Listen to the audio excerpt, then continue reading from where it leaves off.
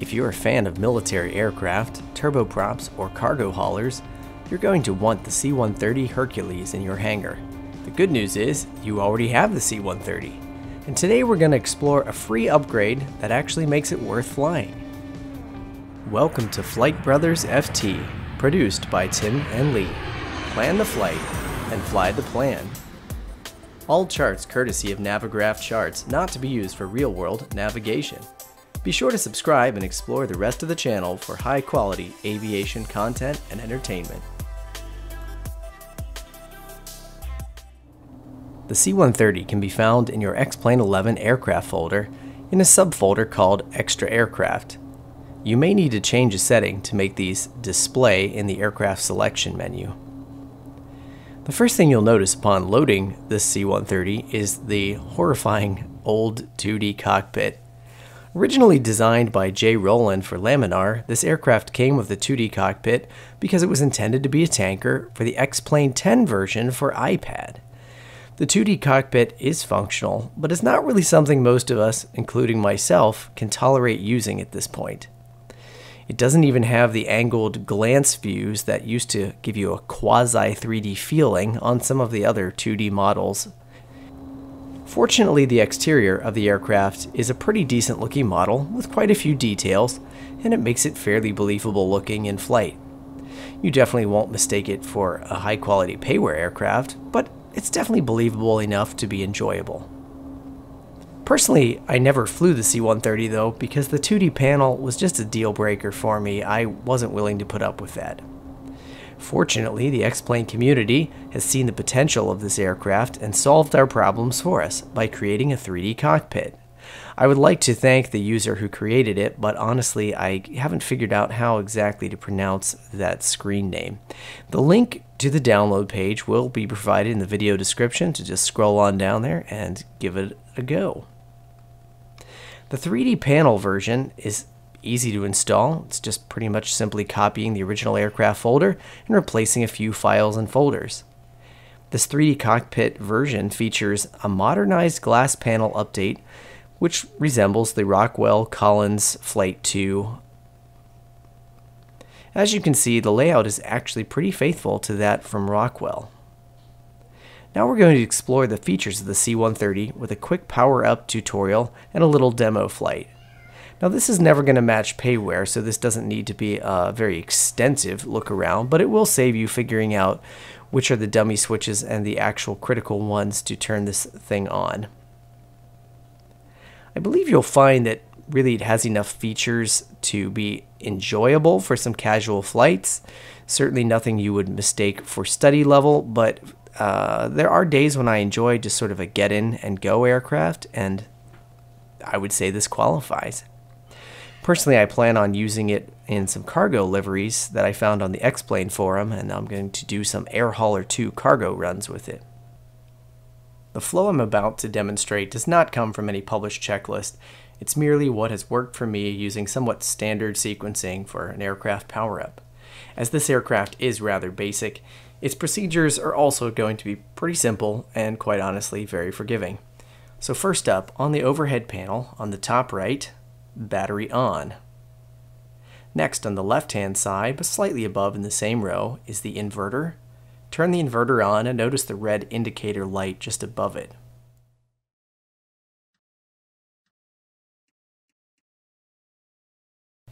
Now we are going to want to power the avionics, so we're going to move down to the co-pilots panel.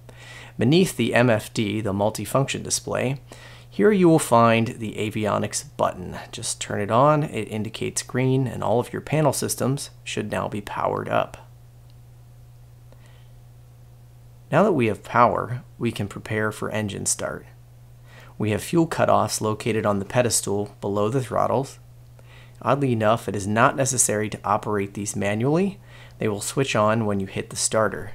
I do not know if this is a feature of the real aircraft or not. On the pedestal, we also have condition levers, but it seems like you will hardly get to use these at all, but they are there. On the lowest row, of the overhead, we have igniters on the far left, and those will need to be powered on manually for your engines to start. The auto ignition is just to the right in the same row. But this is also linked, just like those fuel cutoffs, to the start switch. So you do not need to throw these switches unless you just feel like playing with more switches. I'll briefly note the bleed air switch above the igniters is a working switch. Its default position is down, which is on. There's no simulated APU or GPU here, but you do need to leave the switch in the downward on position for your engines to start. The engine starting order for a real C-130 is 3-4-2-1. That's right inboard to outboard and then left hand inboard to outboard. The start buttons are located under the glass panel engine gauges. Starting 3. One push and you can hear and see the engines are spooling and then igniting, rather FADEC style. Notice the fuel cutoffs and auto ignitions for engine 3 have toggled on automatically. Next up, starting 4. As you can see, this is a very quick startup. Just for fun, starting 2 and 1 simultaneously, just because I feel like it. I'm not sure if that's possible in the real C-130, but uh, certainly some aircraft can do it. I believe the 747 has a powerful enough APU, it can spool two at a time. And I really don't know if uh, turboprops take more or less than a enormous fan jet to start. Checking our engine indications, you will see RPM is in the yellow. There's a very narrow green band indicated on the dial, and the red zone is only slightly beyond that. Flight Bro Lee did some checking for me, and according to the actual C-130 manual, the T56 turboprops run at a constant 100% RPM. Uh, I might need to go back and check if that's engine RPM or prop RPM because we, we, do see some variation here in the gauges, but it does look like that engine RPM holds very close to 100% most of the time, and I would take that to be the green band. You won't really need to do much to stay in that band, but I have noticed that takeoff uh, at full throttle, it can exceed. So sometimes I'll just pull back the condition lever the smallest amount I'm able to. That knocks it back to the green. As the takeoff roll continues, I return the condition levers to max. Our panel warning lights currently show the parking brakes in red, generators as being off, and the pitot heat as off. The pitot heat switches are located on the overhead in the bottom row, Unfortunately, I have not located any generator switches. Uh, this is a rather nicely textured overhead panel and going through it you will find just about everything is a fake. We do have some working, uh, what, what is this, the uh, fuel pumps, fuel boost pumps are working and way up top there's some switches for the pressurization but they actually don't seem to do anything.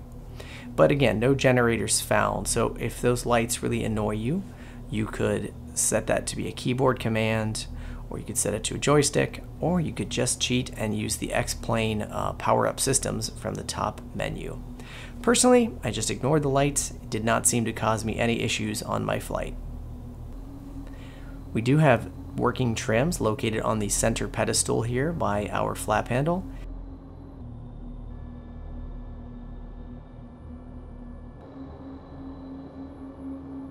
as well as our Navcom equipment uh, tucked up here above the throttles. The radio and transponder are just default X-Plane style, and the default FMC from X-Plane is rather oddly hidden halfway underneath the texture. So simply click on the screen, it pops it out, you'll use it just like normal.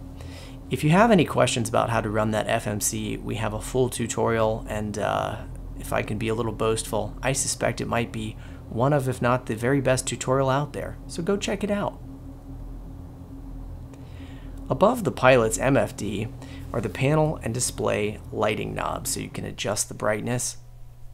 Now might be a good moment to uh, acknowledge that the PFD and the MFD are on the wrong side on the pilots.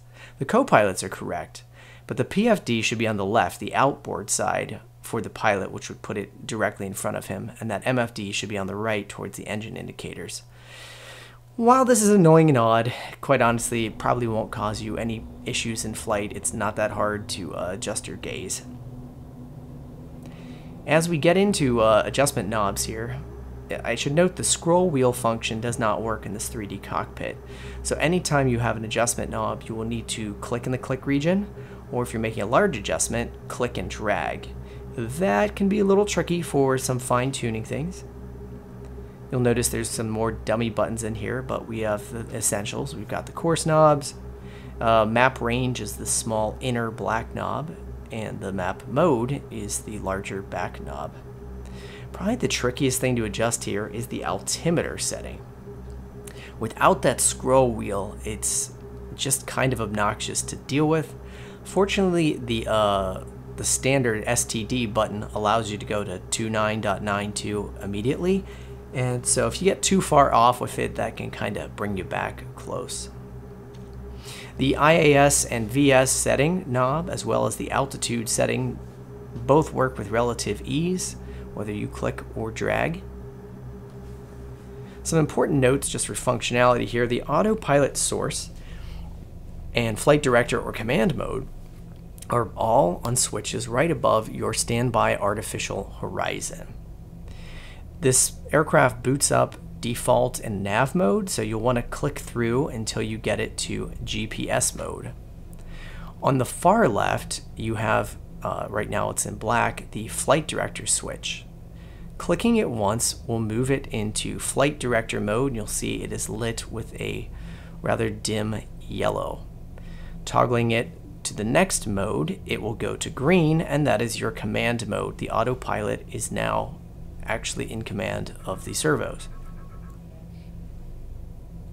And again, toggling it one last time would be basically your AP disconnect.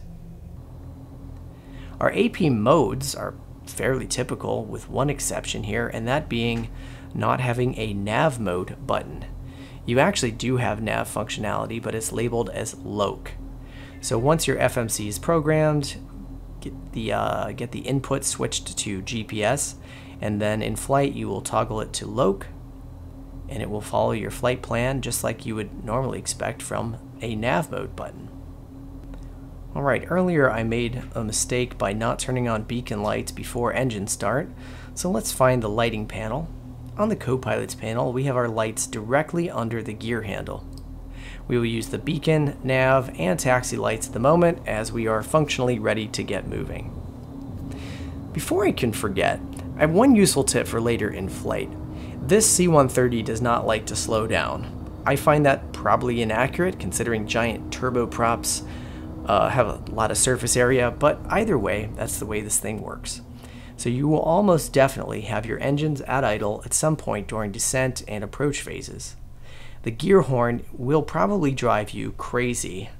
So there is a silence button in the bottom left corner of the gear handle panel. Just make sure though that uh, as you're flying your approach, you run an approach checklist and confirm that the gear is down on final so that you don't have a belly landing. And just for demonstration, I'm going to pull these fuel cutoffs and just shut this ship down.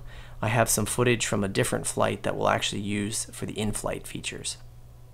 A variety of free liveries are also available on the forum, and I'll include the links to each one you're seeing here in the video description.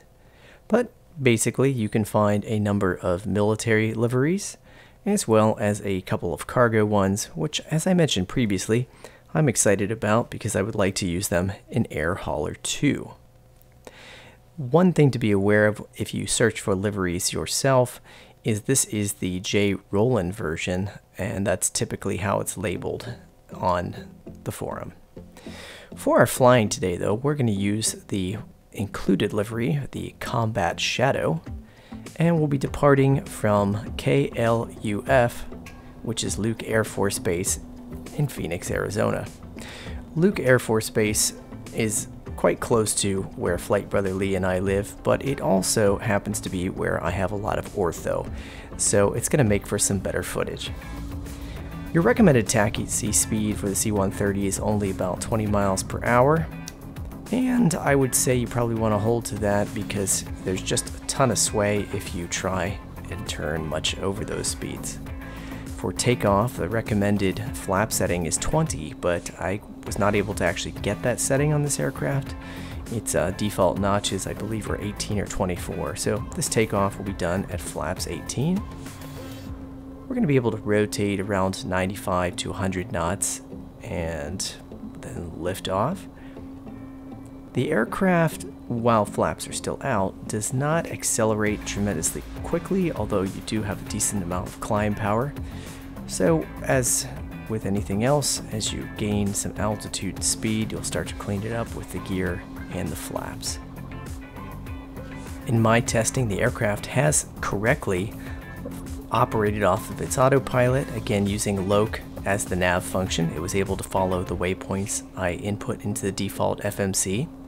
I was a little curious about pressurization, as there is a pressurization panel, but uh, it, it's not functioning correctly if you mess with it up there. So I was very curious, so I set my flight to be at 15,000 feet. And sure enough, once we got up there, we never blacked out, which was interesting because I did not think the pressurization was working. So I would say uh, in just the forgivable things, or I should say forgiving things of this model, uh, pressurization is basically negligible. Now one of the primary purposes of this model, as originally created by Jay Rowlands, was to be a refueling tanker. And you've probably noticed that refueling drogue sticking out there on the port side wing. That drogue extends from a button on the pilot's panel. It's a simple toggle, you hit it, it runs out. It does run out rather quickly as you'll see in the video footage and it also retracts very quickly. But it's a nice little animation, particularly for an aircraft that doesn't have a lot of extra animations on it. For those of you that enjoy flying at night or in the golden hours, you will probably really enjoy the way this aircraft looks in the dark. We have these nice, uh, I'm not sure if those are reflective or illuminated strips on the side, but they kind of pop very nicely. And the aircraft, I think, as with most aircraft, looks really good in the sunrise or the sunset. Our destination on this flight is going to be Prescott, Arizona. That's actually spelled Prescott, which is something that threw me off when I first moved to Arizona about 15 years ago, but they pronounce it Prescott. So here you'll see our approach. It's really not my best landing by a long shot. Oddly enough, the first landing I did in this was a little bit better the other day, but I had the help of my eight-year-old son on that one, so maybe he takes credit for the better landing previously. But either way, after uh, after a few more goes of it, I'm pretty sure it'll be very simple to fly. This aircraft is just not that difficult to control, and it was very enjoyable. So I hope we've generated some interest for you to go and download this free upgrade to your included C-130 in X-Plane 11.